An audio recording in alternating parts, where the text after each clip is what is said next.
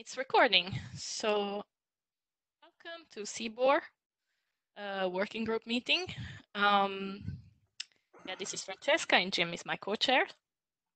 Uh, some useful links, the mailing list and the Jabber, please join, and Etherpad for minute taking. Thank you, Michael, for taking the minutes. And WebEx information, because it's always good to have them somewhere. This is an official IETF meeting, so the Note Well apply. If you haven't, please take a moment to read and understand.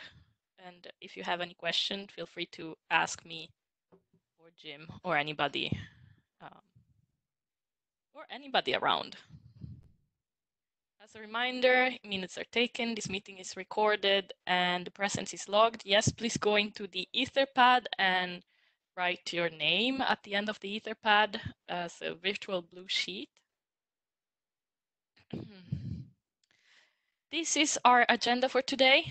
So we are in the introduction part right now. And then we will move over to working group documents where Carsten will talk about the CBOR-BIS status. And we have a couple more topics in the other part. Um, so we want to talk about the date and time tag document. Um, so I haven't seen Mike in the call. He had asked for time. Um, and uh, so Carsten, I know that yeah, there's been some discussion in the mailing list. We'll continue that here. And if time allows, we'll talk about the, CDDL freezer document or how to continue working on CDDL. Some time for wrap up. Uh, so this is a working group status update. So we've had six interims since IETF 106. So we are pretty used to having uh, virtual interims and um, we, we, we think they're very useful and we would like to see more participation. So for whoever is here who has never been to a CBOR working group interim before, please do join. They only take one hour, often um, less than that and we discuss uh, um, topics that pop up in the mailing list and we think uh, yeah it's it's a check. Um, you can find minutes and whenever there were slides slides for those meetings at this link. And yes since IETF 106 we've had the uh, CBOR array tags and CBOR sequence that were published. So congratulations to the working group and the authors for that and also, um, excuse me, we've been working on the 7049. Um, so the working group last call ended the 23rd of March. There was a couple of issues that were open, and we're still um, looking for reviews from implementers. Um, there was some uh, action points from the last interim to read carefully and review the text that was uh, implemented to close issue 164 and 165. And I'm sure Karsten will go more into detail for that. Um, the update of, yeah, the status update of the document. Um, and yes, just uh, scheduling uh, we will continue on having these interims on the same time slot, which is this one, Wednesday between 5 and 6 p.m. CST, every two weeks from now until the 14th of July. And if we feel like we don't have topic to discuss, uh, the meeting will be cancelled, but otherwise we will be having the meeting. And I didn't uh, uh ask, but is there any agenda bashing?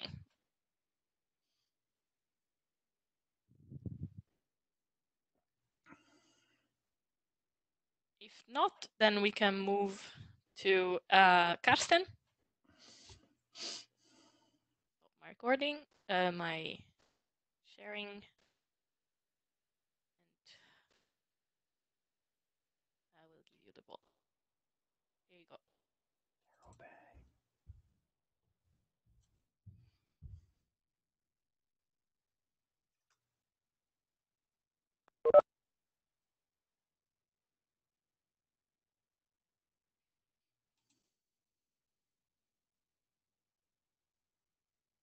I hope Carsten is back. Otherwise, I was too quick with the introduction. Here we are. Takes him a long time to get his coffee.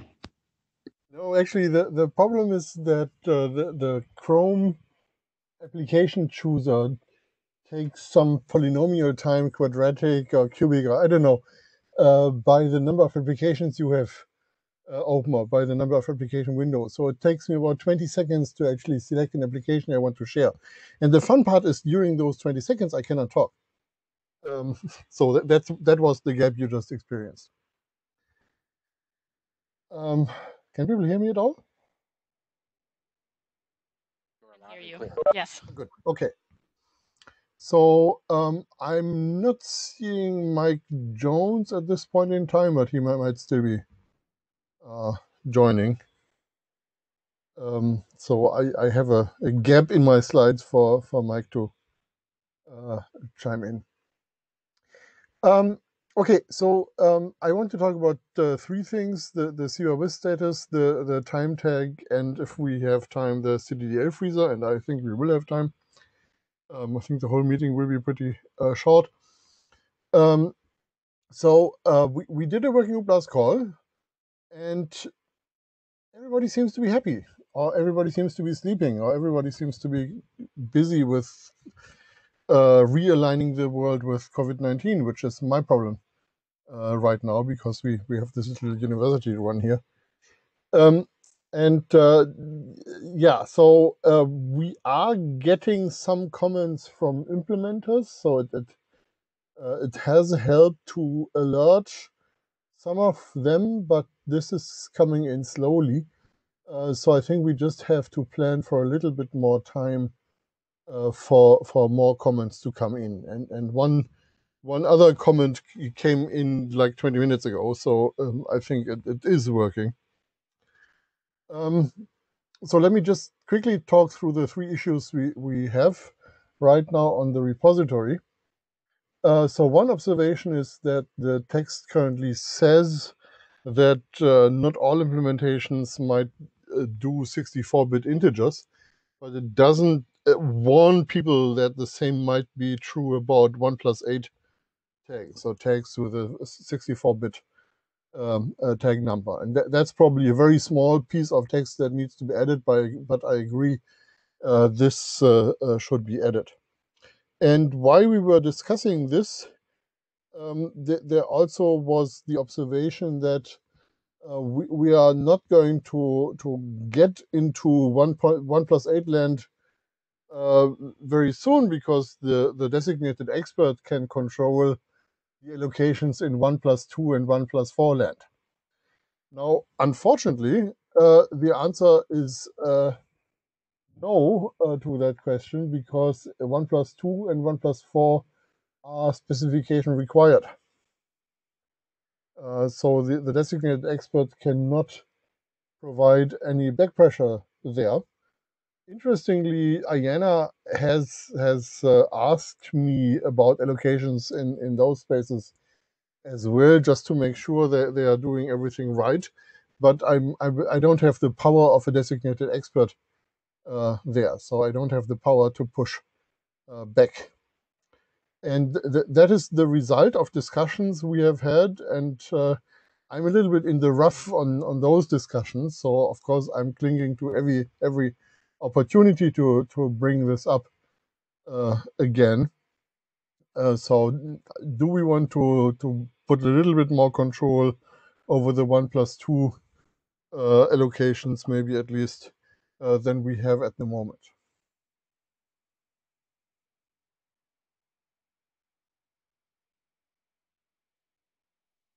Carsten, is it just says specification required is and first come first serve? It's first come first serve. So officially the designated expert is not in the loop.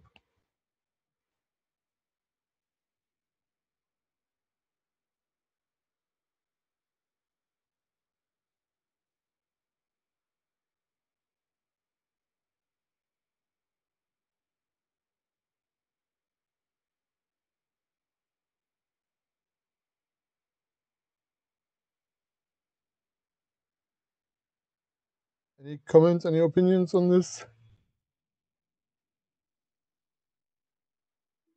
I think I may be, may agree with you that I'm not ha- not necessarily happy on that. So then what you would like to have is one plus two uh, under expert review or both of them. Let me just um, show the text that is currently in the uh, draft. Uh, so 0 to 23 are standards action, 24 to 255 are specification required, and everything else is first come, first served. And I think we should just put the 1 plus 2, which is 256 to 65, 535, uh, to expert review. Um, I kind of remember the dis- discussion, but like I know we talked about this. I cannot remember right now. Uh, um, how did we decide that this, uh, those would be first come first served? So I, I think I need to go uh, look at the minutes again. But yeah, personally, chair hat off. I would also think it would make sense to have one plus two into expert review. We also could do something like uh, uh, keep the 1 plus 2 open uh, to first come, first serve, but only part of it. So we, we could say the first half, uh, 4711 is just a syntactic meta variable here. Uh, part of the 1 plus, 1 plus 2 uh, would be expert review, and the rest of the 1 plus 2 together with the 1 plus 4 and 1 plus 8 would be FCFS.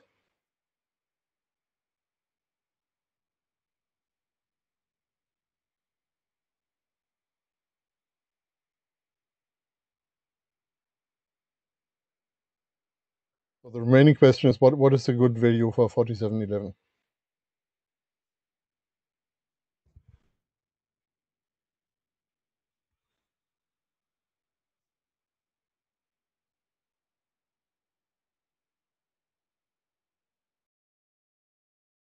Okay, if nobody in the meeting has opinion about this, I suggest we I take the action point to look in the minutes and we bring the discussion back to the mailing list and we take a decision really quickly because we don't want to uh, delay this obviously but um, we want to give everybody a chance to to um, to uh, give their opinion um, but yeah my personal feeling is that yeah it would make sense to have this in expert review um, I'm not sure about half of these expert review, half of the half of these first come first serve, because then it. I mean, it's very. Um, um, one has to choose where do you split it, right? what is first come first serve and what is expert review? It's very arbitrary. That's the word I was looking for. Yes, but I mean, if you don't know what to do, giving half to one and giving half to the other is kind of the default option. So uh, I could imagine that that's a sensible thing to do. Yeah, that could make everybody happy, but uh, yeah, and let's bring it to the main list unless there is more Yes. comments. Uh, Francesca, this is Ira. I just wanted to chime in and say I also strongly prefer that at least part of the one plus two range is expert review. Otherwise, we're not using expert review, which doesn't make any sense at all. Um, and I don't, uh, I don't care whether it's half or what. Uh, um, a goodly amount, say several thousand at least, ought to be expert review. It seems to me. Okay, thank you. Okay, and uh, as I said, th- there will be a few words added, uh, just pointing out that, that people who do not do 64-bit integers probably won't do 1 plus 8 tags. Um, issue 176, um, th- that's really an implementer consideration, wh- which I never have thought about um, because I don't need it in my implementation. Um, Emil uh, said that maybe we should reserve one tag number for no tag. Um, so in in an implementation where you just have uh, uh, an integer where you write the tag number that applies to something, uh, you can write that uh, you can store the special value, which uh, if we had thought about it in 2013 might have been zero, uh, but we didn't. Um, so so it probably will be something else uh, like 666 uh, right now.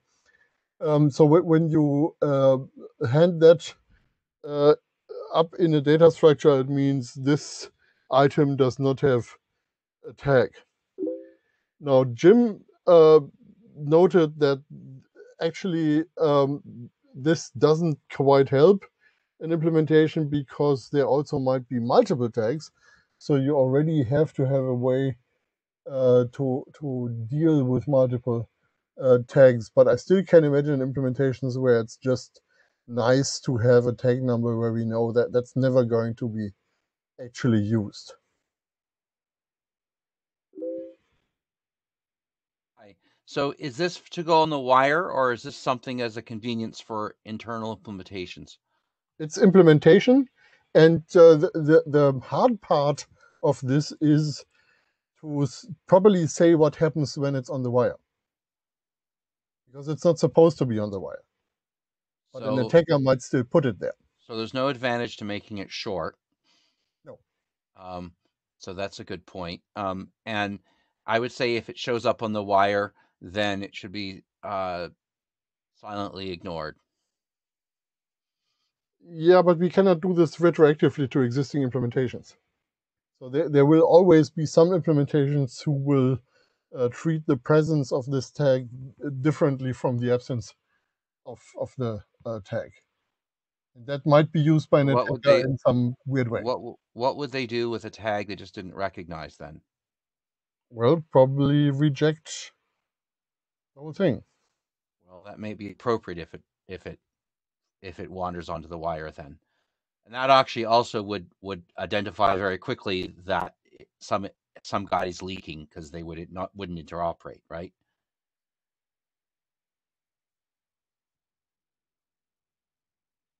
Yeah, so I'm, I'm not concerned with interoperability. I'm concerned with possible avenues uh, where where you have multiple entities interpreting the same uh, and they come to different conclusions as to what it is. And and th- that's the security consideration for a tag like this, I think.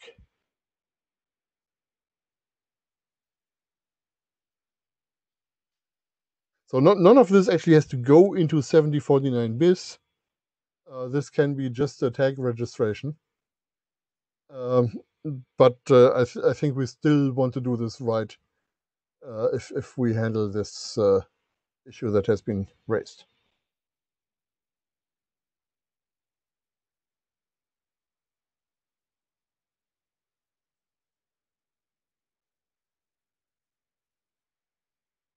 Uh, what you wrote in the parentheses here can be done outside of Flash in parallel to uh, makes sense to me. Um, would we want? I mean, why would we need this in document right now? Well, of course, it's more prominent for implementers if, if it's in the document. Uh, so Alexei just argued that it would be better to incorporate the no tag now.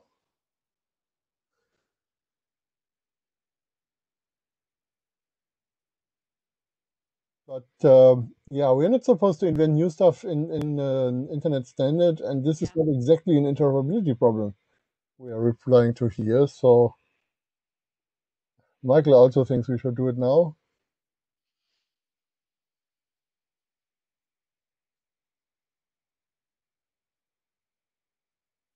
Yeah, I, I I hope the I, IESG I agree, Carsten. Go. Sorry.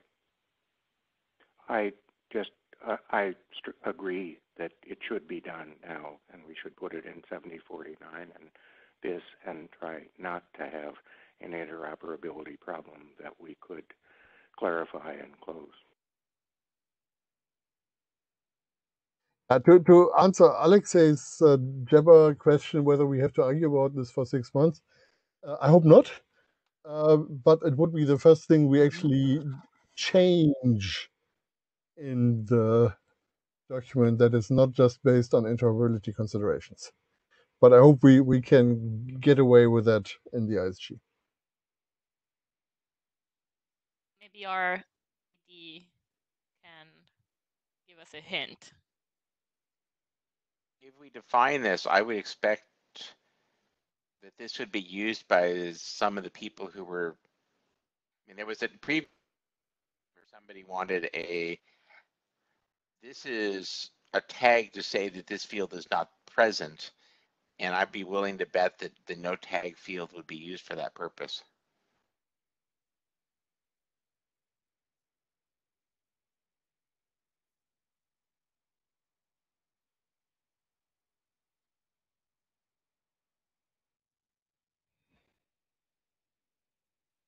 Yeah. So yeah, uh, let, let's take this to the list. But I, I think the sense I get is it, it's worth uh, spending the effort doing this now. And uh, I mean, we're waiting for new input, for more input anyway. So uh, we we might want uh, to to do this now.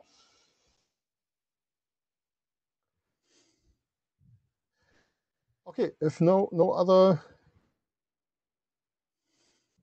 Oh, the the Etherpad writer understood Jim saying something different from what I just heard.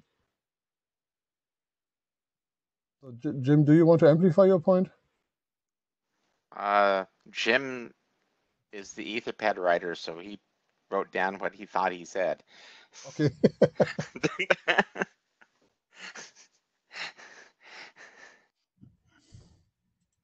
yeah, okay. We have null for that, and undefined, and so on.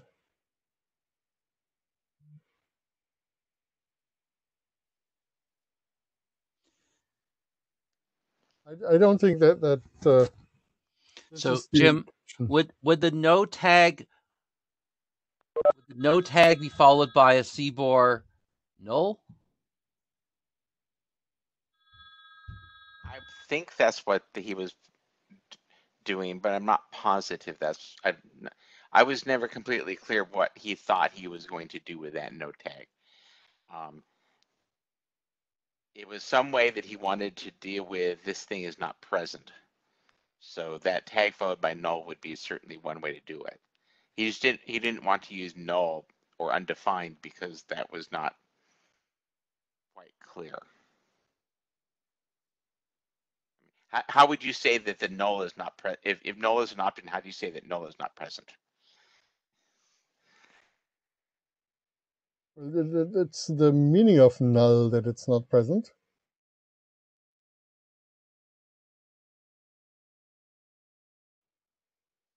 I was kind of going into semantics.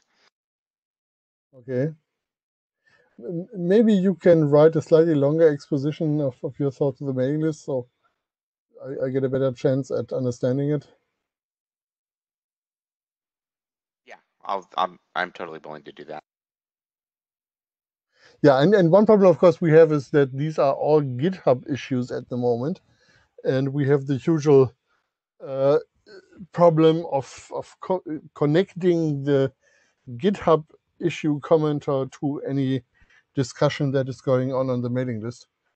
Uh, but uh, yeah, I, I, think we know how to do this. We just uh, should not forget doing it. Yeah, this is we have this. Sorry for being late. We have this in, in, in, other working groups where basically all the notifications go to the lists.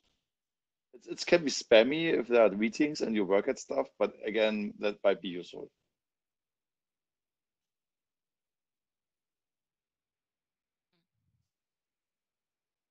Don't think we need to do that yet. I can think about that, but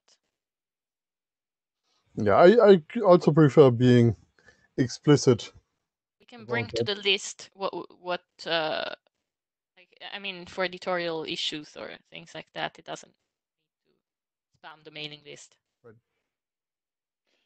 Yeah, that requires discipline, and you all not always have that. So I don't know.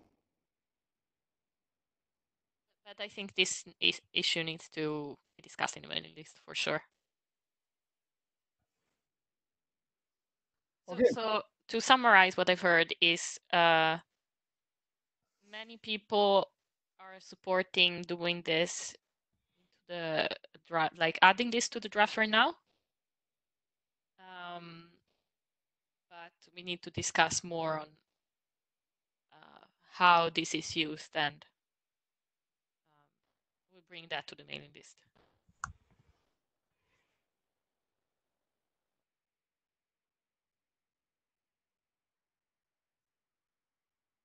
Okay. Thank you. So the the issue that came in half an hour ago, or maybe 30, uh, 35 minutes ago, uh, was uh, about the security considerations about hashes. It's well known that an attacker can uh, turn an O1 hash into an ON hash if, if they know how the hash is implemented. And uh, uh, the security considerations currently only mention one mitigation strategy. And of course, it, it should mention that there are other mitigation uh, strategies. Uh, so I think that that's an, a no-brainer to add this to the security considerations. It's, it's implementation advice, and of course we can expand implementation advice uh, indefinitely, but maybe pointing to, to the strategy Java uses here is, is a good idea. So that, that's actually all I have on CBOR at the moment.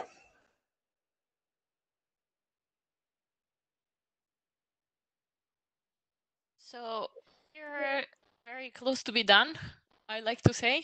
Um, uh, Cas- uh, Carsten, you already mentioned that we've gotten uh, very few comments from Working Group Last Call, um, and that we are. Uh, are you reaching out to implementers, or have you reached out to implementers? Um, I have, and uh, I still can expand uh, that. So I'm, th- the more I do this, the more spammy it, it gets because I'm I'm uh, engaging more and more venues that, that really aren't quite meant for this, but but uh, where it's probably not too much of an etiquette violation to go ahead and ask for help. Um, but I also think that, that some people will will uh, need a week or two to actually react. Um, so um, I did some of them last weekend. So uh, maybe we should plan a little bit more time. Okay, so what? Um, so anyway, you needed to submit a new version, correct? Yes. Yes. So what time plan should we have? Do you want to include this also in the new version or editorial comments, etc.? When is our next interim? In two weeks. In two two weeks. Yeah. Uh, so uh, maybe the plan should be to to submit the next version in ten days. So we have uh, still time to uh, Can include this. yeah, we can include in that whatever comes out of uh discussion about the Yes. tag as well. Yeah.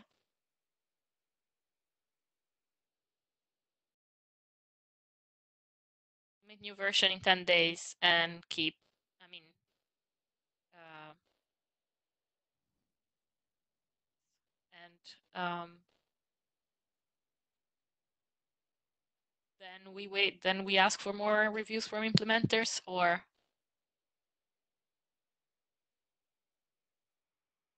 Well, we, we can stay in the current state indefinitely. Um, of, of course, right now is not really such a great time to to ask for people's attention because uh, there are all these other things going on with uh, readjusting your life and all that. Um, so um, I, I think it makes sense to to have a little bit more time uh, added, but I also think that maybe by by the end of the month uh, we should decide whether we can ship it now. So yeah, I started doing the Shepherd review, by the way. So I'm uh, I'm gonna wait for the next version to to finish that, and then we can uh, we can ship it. Uh, you say end of this month. Does that sound good, or any other opinions? Is that too late?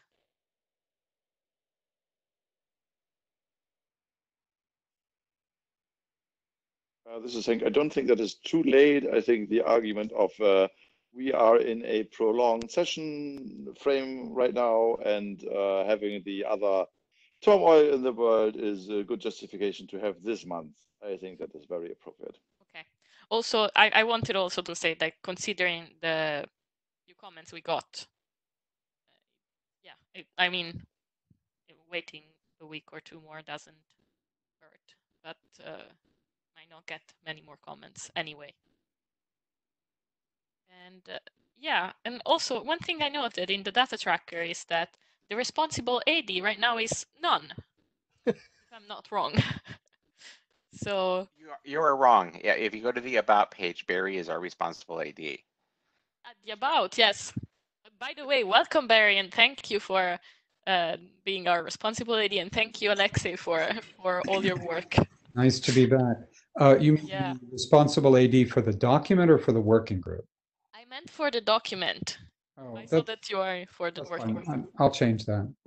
Okay. Yeah, I assume it was you, but you know, it just doesn't say. publish yet. That's why there is no responsible AD. Ah, okay, okay, okay. The mysteries of the data tracker. Get it. It sounds good to me. It, uh, it, um, the responsible AD gets filled in as soon as an AD touches it. So if you request publication, then it fills it in. Okay. Uh, Until then, if I make, if I flag it as AD is watching, it'll get filled in. But I don't generally watch the documents until they come to me, so No, that's fine. it's, it's fine. So, it according to this discussion, expect to see uh, CBOR-BIS coming to you by the end of April, if nothing goes Excellent. wrong. Thank you. Great. So Then- comparing to 8152 BIS, how, how much lag do we have?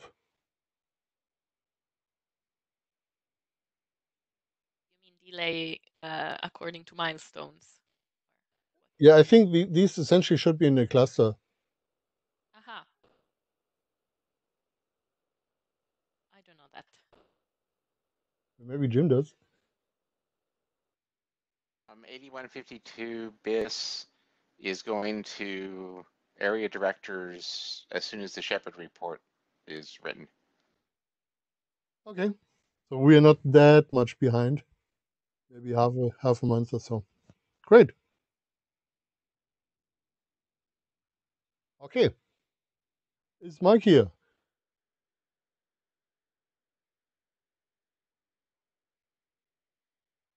Okay. Doesn't seem to be.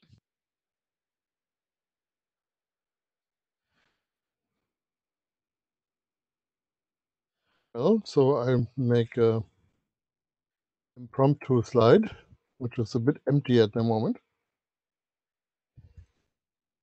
Um, so th- th- there, was a request to have a um, date tag. We have several time tags, but uh, we don't have a way to identify a whole day.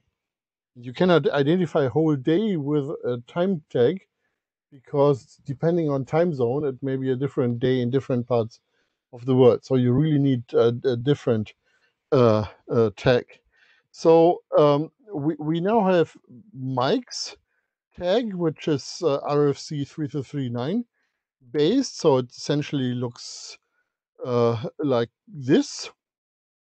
And uh, there's also uh, the older idea to do an epoch based uh, one. And uh, actually, um, was it tag number 100? I forget, but it, it's it's a lowercase d,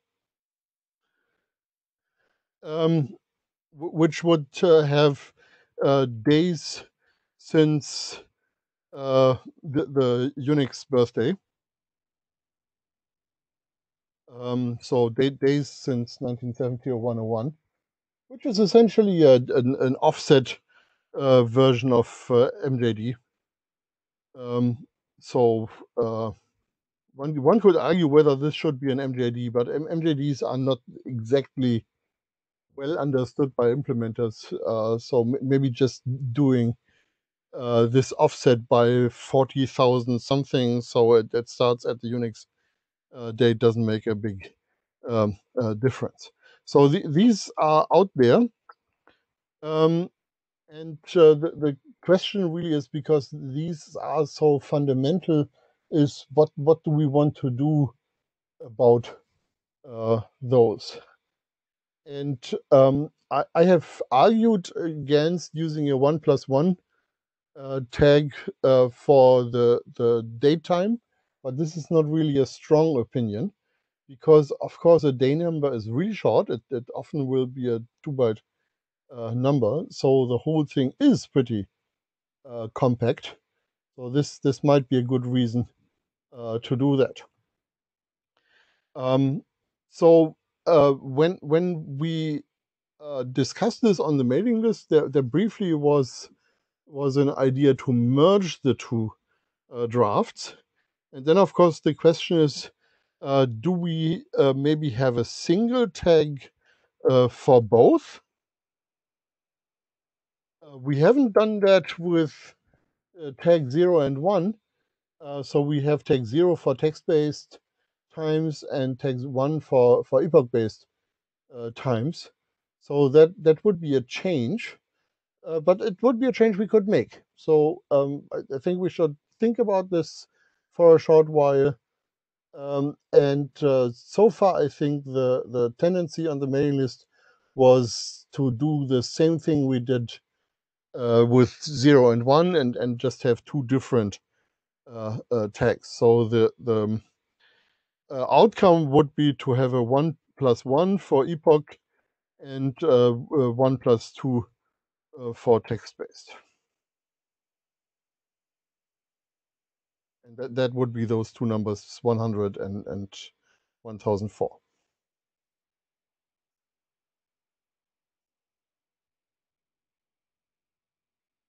So, so this is Henk. Um, I am absolutely in favor of creating tags for things that are used on a daily basis, so to speak.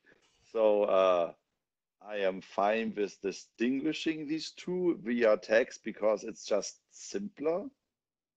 But I uh, am very confused by the term epoch based, but because if 2020 or 5 or 8 does not have an epoch, what is 011? So that's probably the epoch of that day-based counter. Uh, the start of the common era is probably also an epoch. And this is apparently an epoch-based day counter. Um, having said that, I am okay with calling it, I don't know, text-based and epoch-based, although it's probably not right. We don't have to give it a name. Yeah, uh, but okay, you refer to them like this. So, so uh, okay, you, yes, because everybody does. Like yeah, so that's what everybody does exactly. For for for common usage and for daily usage, again, it's okay to reference them somehow, and that's fine. And and as long as this doesn't uh, uh, temper with precision time tags, I'm totally uh, d'accord.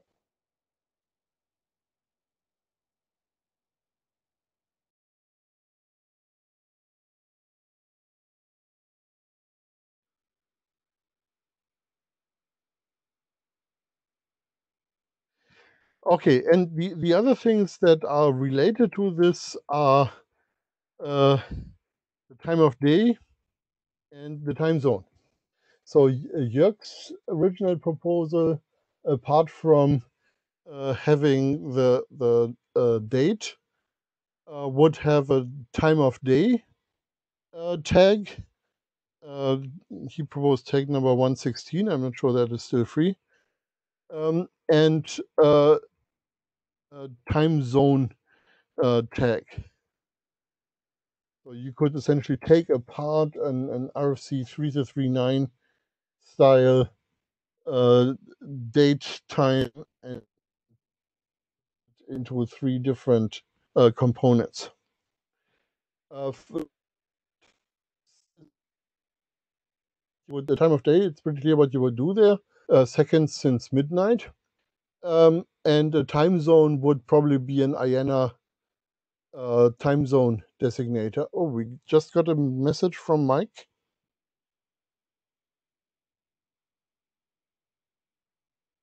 Sorry, on list or in call? Francesca, did you get that mail?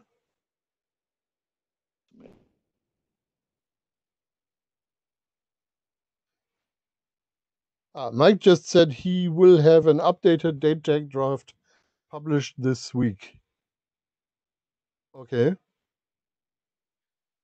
We also agreed on merging uh, yours and Mike's document last interim, right? And add your um, as author. Did you say merging your or merging Jörg's? Merging uh, your. I I think I thought that was your document and Mike's document. So my document is is quite different. Different. Okay, so that was then Jörg's Jörg's uh, suggestion. Yeah. yeah. Okay. That would be the that would be the um, the update. Yeah. We, we, we don't have to discuss every tag allocation here in the, in the working group, but I think this this is uh, important enough for day-to-day -day work, as Henk uh, said, that that uh, we should get this uh, right. Uh, so essentially, at this point, I would say let's just wait for what what Mike is coming up with.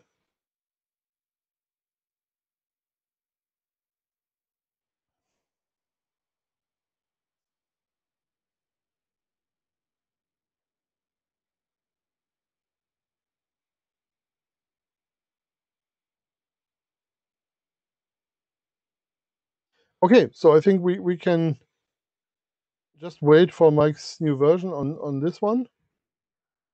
Um, and uh, then there is this uh, time tag, which has been around for a while and actually is being used in implementations uh, these days. Uh, oh, the tag 1001 is being used in uh, implementations. And this was just meant to be a more sophisticated uh, version of tag 1 uh, and and provide some extensibility, which Tag One doesn't uh, have. And uh, one question was whether maybe at some point we want to adopt this so we can handle the whole thing in one go. Um, or what is our strategy here? Because I, I can continue working with Henk on this in my spare time and, and eventually complete it because the tags are already registered. Um, but maybe we want to have a common strategy here.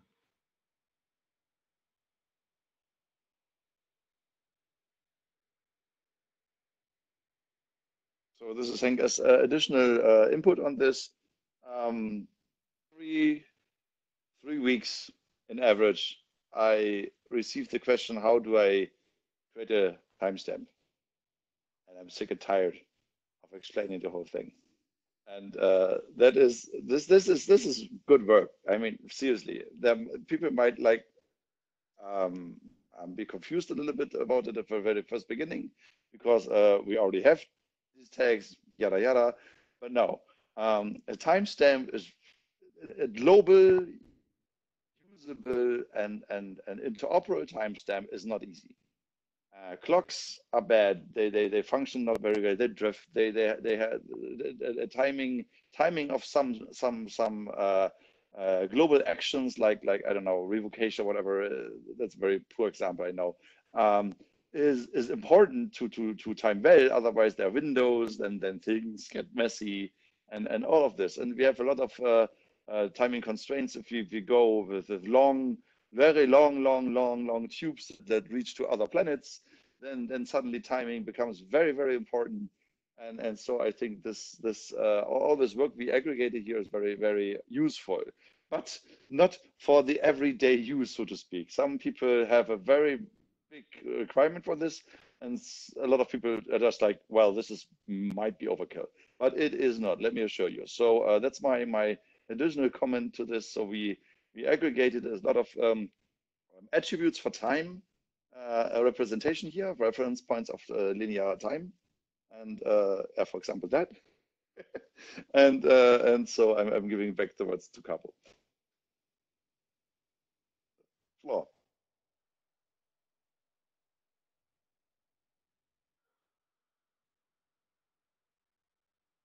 Yeah, so these are the things that that uh, could be added at some point. Uh, there are other things like precision and and so on um, that that could be added. Um, so uh, I think this should simply be handled based on on whether people come in and and ask for how do you represent eggs in in uh, uh.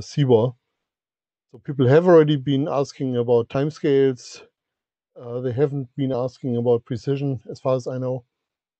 Um, so uh, yeah, th this this could evolve for a while, uh, but uh, we could also decide at some point to to ship it as an RFC.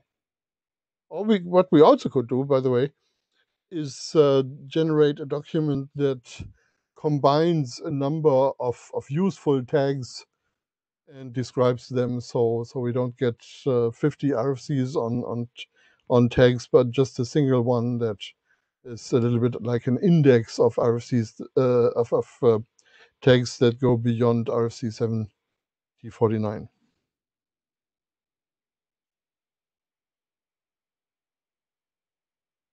Um, does our AD have any opinion about this?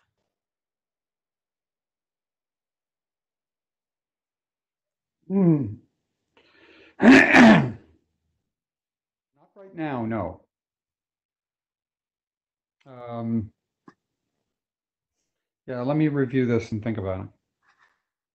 So the thing is, I personally would think that that uh, having multiple RFC is easier rather than one document that is summary of uh, of tags um, interesting tags document. Also for expandability, but I don't know what I, am I'm, I'm not. Uh, um, I don't have a strong opinion on this either.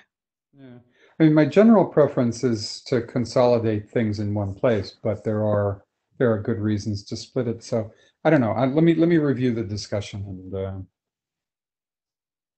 Also, because like we can we can have an interesting interesting tags right now, but hopefully or likely more tags will be added to it.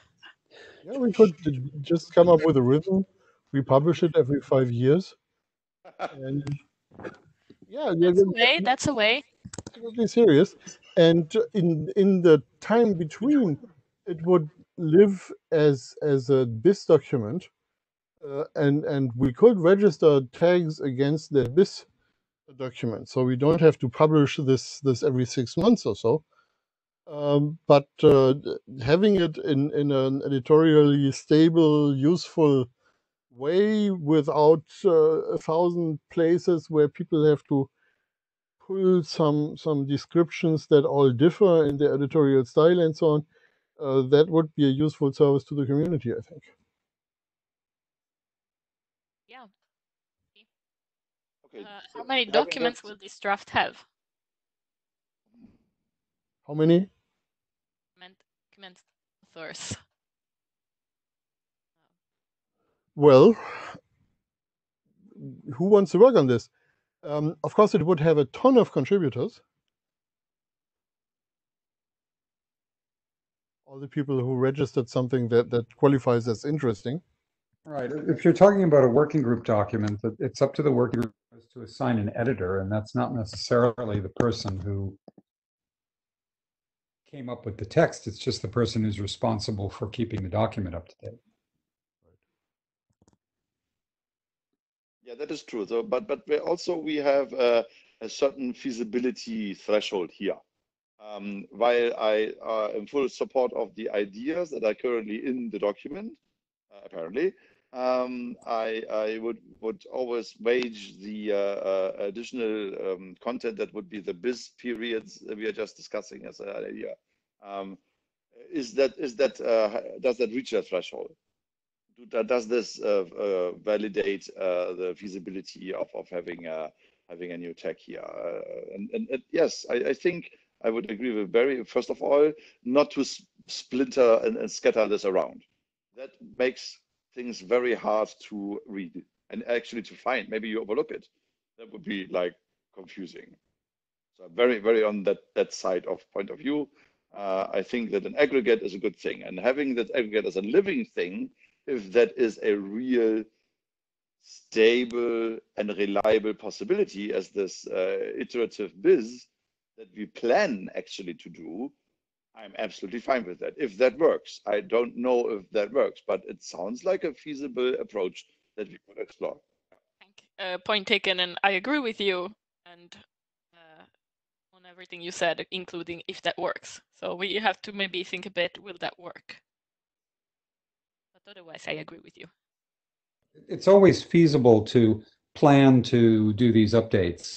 And then it's also the working groups get busy with other things and don't have the interest in keeping it up, or the working group gets disbanded at some point and there's nobody keeping it up. So it, it it's never going to be a complete reference, but having one place to go to look for these things and have it updated periodically is a good plan. It, it, it's worth it's worth thinking about. So we we have three minutes left. I don't think we have time to talk about CDDL freezer document today, Carsten. Right. Maybe let's move that for the next interim. That's okay. Yes. Yep. Um, anything more you wanted to quickly add for for this or we continue the discussion in the main list just maybe people could read the the section four of the freezer document before the next meeting and and uh, we could have a, an informed discussion what we want to do with this noted uh, section four the cddl freezer um, Yes, then I think we can wrap up here. Uh, so we have a bunch of action item in the minutes. Thank you, Jim, for taking the minutes. Um, and we'll, we will be meeting in two weeks at the same time using the same WebEx. Uh, anything you want to add, Jim? No, I, I'm fine.